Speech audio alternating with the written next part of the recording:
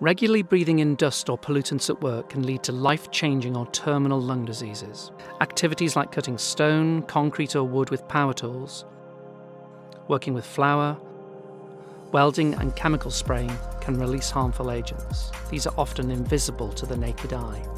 Inhaled pollutants can lead to a variety of lung diseases, including asthma, COPD, silicosis, lung cancer, and mesothelioma. Dust can build up gradually over time, with the effects not always being immediately obvious.